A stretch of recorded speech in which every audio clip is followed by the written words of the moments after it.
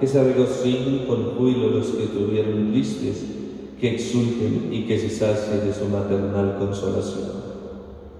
Querida comunidad, seamos bienvenidos a la celebración de la Eucaristía. Iniciemos colocándonos en la presencia de Dios y digamos todos, en el nombre del Padre, del Hijo y del Espíritu Santo, la paz, la gracia y el amor de Dios nuestro Padre estén con todos ustedes. con tu espíritu. Vamos en un momento de silencio a reconocer nuestras faltas y a pedirle a Dios perdón por ellas.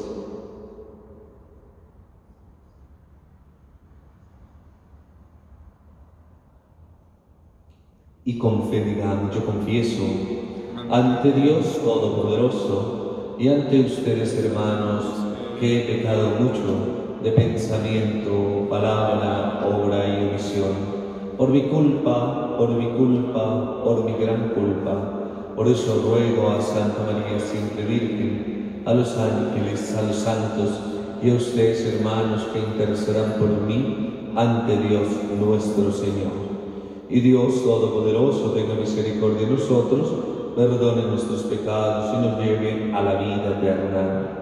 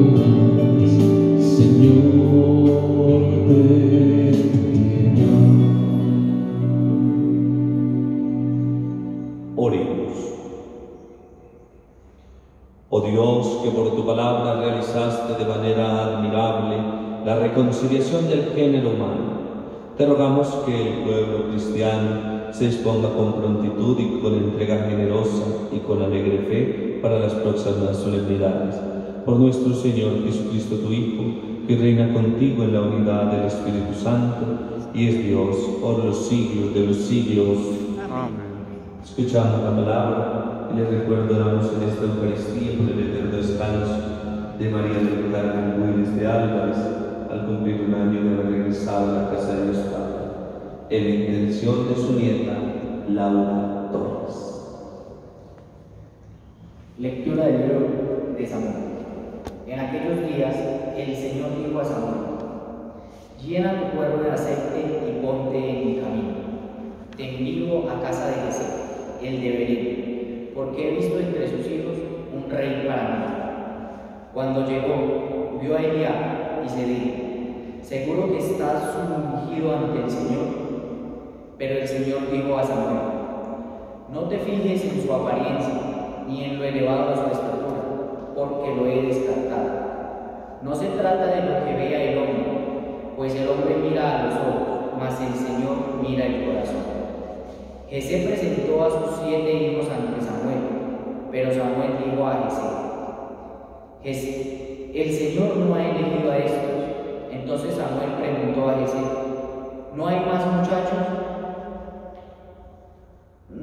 Y le respondió, todavía queda el menor está pastoreando el rebaño. Samuel le dijo, manda a buscarlo, porque no nos sentaremos a la mesa mientras no venga.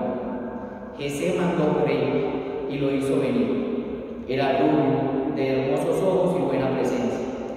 El Señor dijo a Samuel, levántate y úngelo de parte del Señor, pues es este. Samuel cogió el cuerno de aceite y ungió en medio de sus hermanos, y el Espíritu del Señor vino sobre David desde aquel día en adelante. Palabra de Dios.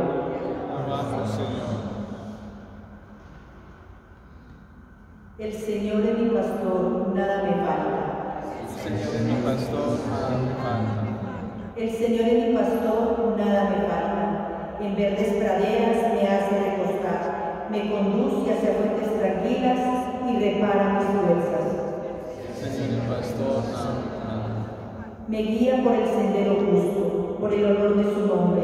Aunque camine por cañadas oscuras, nada temo porque tú vas conmigo. Tu vara y tu callado me sosiegan. Preparas una mesa ante mí en frente de mis enemigos. Me unges la cabeza con perfume y mi copa rebosa. Señor. Tu bondad y tu misericordia me acompañan todos los días de mi vida y habitaré en la casa del Señor por años sin término.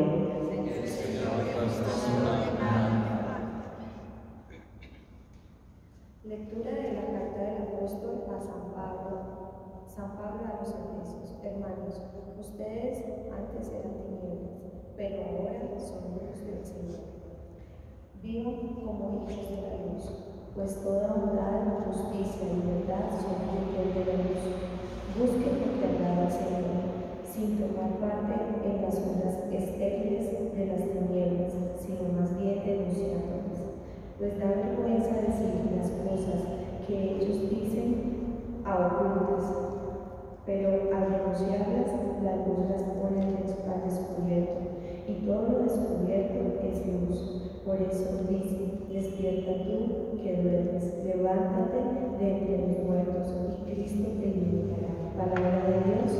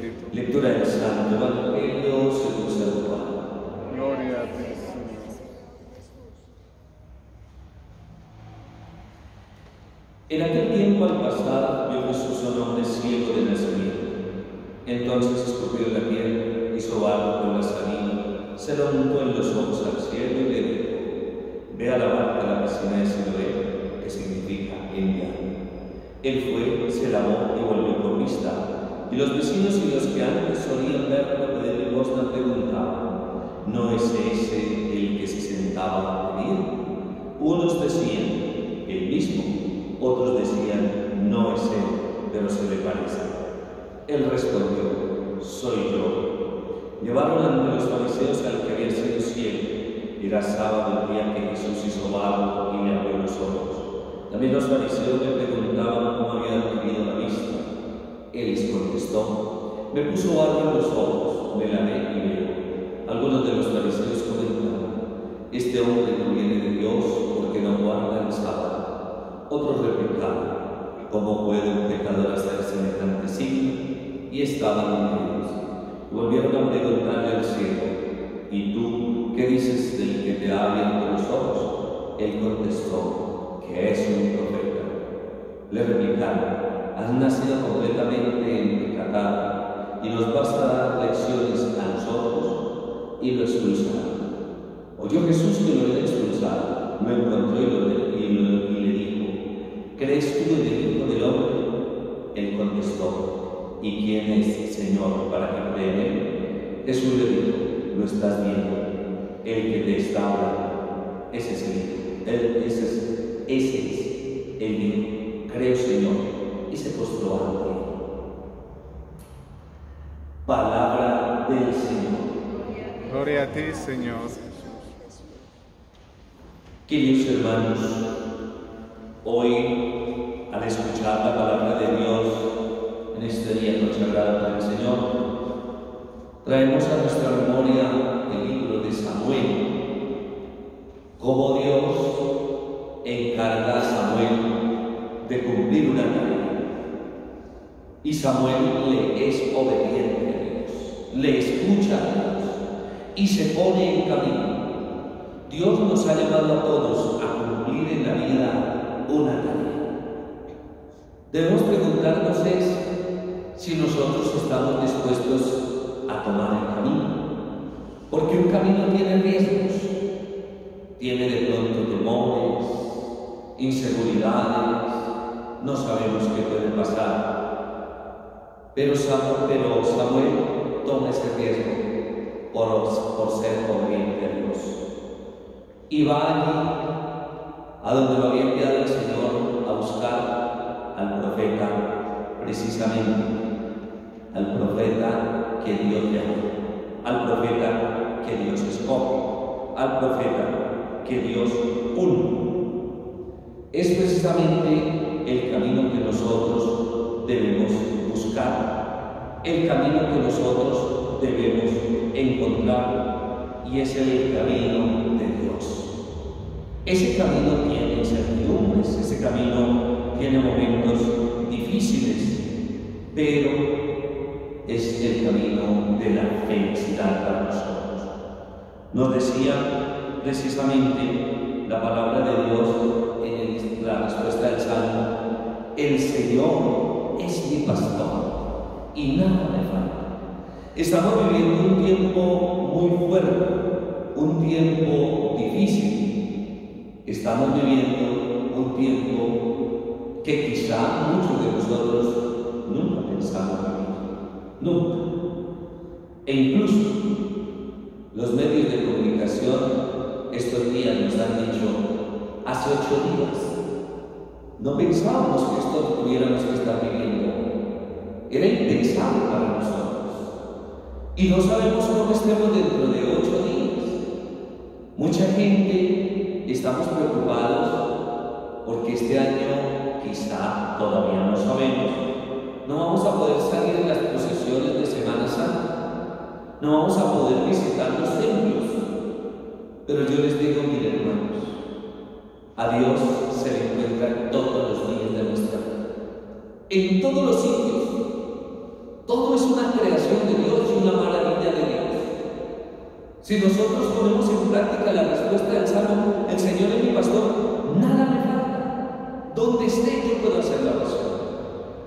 Yo estoy moviendo todo lo posible, humanamente posible, para poder llegar a cada una de las feligreses, a cada una de las familias que visitan el templo a través de un canal de televisión, para celebrarles la Semana Santa, para llevarles a ustedes. Tengo dificultades, muchos, muchos, muchas cosas.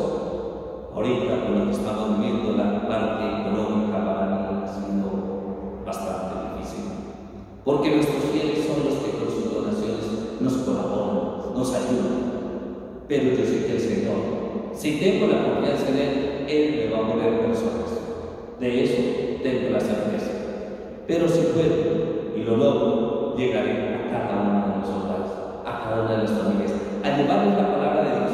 Y desde aquí, desde su hogar, nos encontramos para decirle que el Señor está aquí con nosotros, con mi familia. Si tenemos un enfermo, está con nuestro hermano el enfermo. Si tenemos una necesidad, el Señor está con nosotros y vamos a salir de esta necesidad. David le escuchó a Saúl y mire que llegó a David. Después de ungirlo Dios, a través de Samuel, David siguió el camino de Dios. Hoy el Señor nos pide que sigamos el camino de Él. Si nosotros seguimos el camino de Dios, la segunda lectura de San Pablo en los Efesios nos decía algo muy importante y es que nosotros somos luz. Y tenemos que. ¿Qué hace una luz?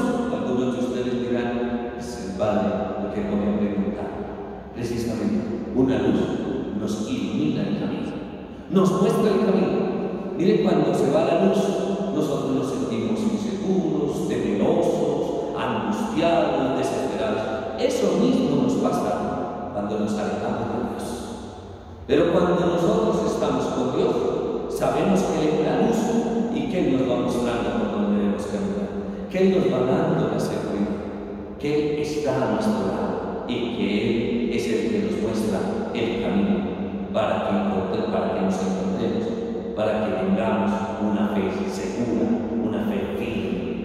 Hoy el Evangelio de San Juan nos muestra cómo un hombre que no tiene la vista es curado y sanado por Jesús. Y podríamos decir que quizá de una manera muy simple, lo que nos dice es que le, que le untó barro los ojos y él abrió los ojos y vio. Muchas veces Jesús nos ha abierto los ojos, pero nosotros no queremos no queremos. Lo que estamos viviendo nos lleva a reflexionar. ¿Qué clase de familia tengo yo? ¿O qué familia es la que comparte conmigo los días? Porque con la situación nos ha tocado volver a nuestras casas, entrar en el encierro, donde usted casi nunca estaba. Un lunes, un jueves, un viernes, usted allí no pasaba. Y hoy te tocó volver allí a encontrarte con tu familia y ver que hay una realidad, una realidad distinta, una realidad diferente. Abrir los ojos para esta nueva realidad. Abrir los ojos para este nuevo encuentro. Y también aquí Jesús te está hablando. Mira, tú como esposo valoras a tu esposa. Como padre valoras a tus hijos. Como madre valoras a tu, valoras tu hogar. Valoras tu familia. Hijos, valoras a, valoran a tus padres. Quizás esto nunca lo habíamos pensado. El tener que comer juntos otra vez. El tener que estar juntos otra vez. El que no es que yo me voy y vengo dentro de dos días. Quizá cuánta gente tendría un programa espectacular para este puente. Y resulta que le tocó decirle, quédese quieto. No vas a ir. Te vas a quedar en casa. No, pero ¿cómo así? ¿Pero por qué? Esa es la realidad. Abre los ojos. Eso es lo que estás viviendo.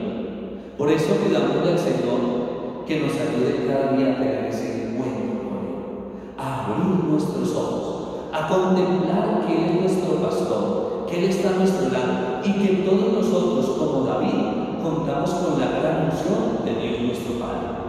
Que el Señor Dios Todopoderoso ilumine su camino, su vida, su familia, así sea. Así sea. Vamos a profesar nuestra fe diciendo, creo en Dios Padre Todopoderoso, Creador del cielo y de la tierra, creo en Jesucristo, su único Hijo, nuestro Señor, que fue concebido por y gracia del Espíritu Santo, nació de Santa María Virgen, padeció por el poder de Poncio Poncio Pilato, fue crucificado, muerto y sepultado, descendió a los infiernos y al tercer día resucitó de entre los muertos, subió a los cielos y está sentado a la derecha de Dios Padre Todopoderoso. Desde allí ha de venir a juzgar a vivos y muertos. Cree en el Espíritu Santo, la Santa Iglesia Católica, la comunión de los santos, el perdón de los pecados, la resurrección de la carne y la vida eterna. Amén. En este momento le hacemos a Dios la oración. Pero hoy quiero orarle a Dios y colocar en su altar esta calamidad que está viviendo la humanidad. Que todos nos unamos en un mismo sentir y le digamos a Dios, Señor, bendícenos, Señor, acompáñanos, Señor, fortalécenos y líbranos de nuestras enfermedades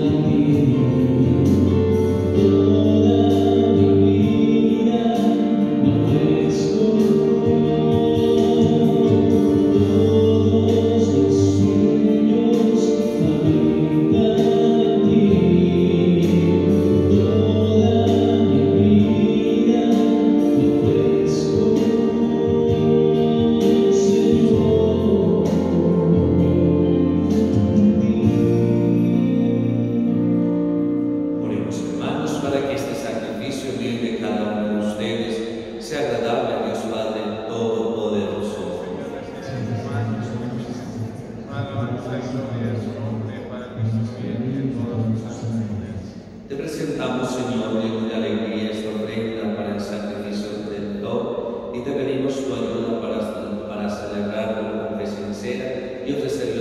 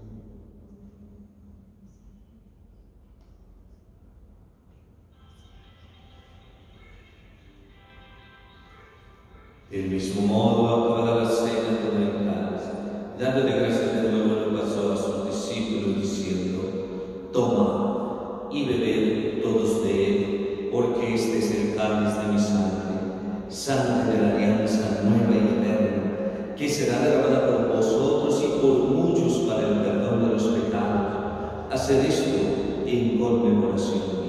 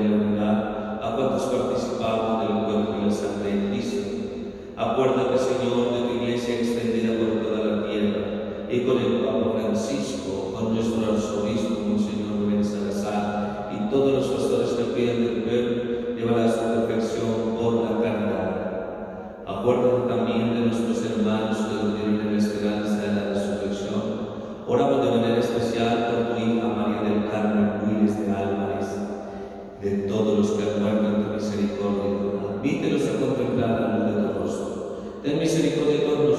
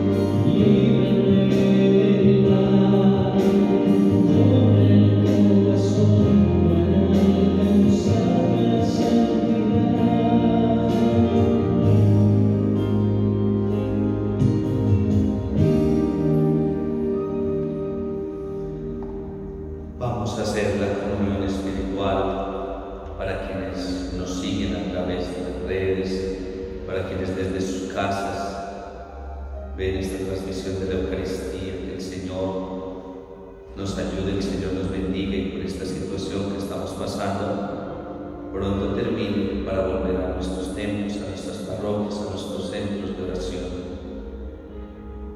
Creo, Jesús mío, que está realmente presente en el Santísimo Sacramento de la vida. Te amo sobre todas las cosas y deseo recibirte en mi vida. Pero como ahora no puedo recibirte sacramentalmente, ven a lo menos espiritualmente a mi corazón. Como si ya te hubiese recibido, te abrazo y me todo a ti. No permitas, Señor, que jamás me separe de ti. Amén. Oremos. Señor Dios, luz que alumbra a todo hombre que viene a este mundo, ilumina nuestros corazones con el resplandor de tu gracia, para que podamos siempre pensar lo que es digno a tus ojos y amarte con sincero corazón. Por Jesucristo nuestro Señor. Dale, Señor, el descanso eterno. Dale, Señor, descanso eterno.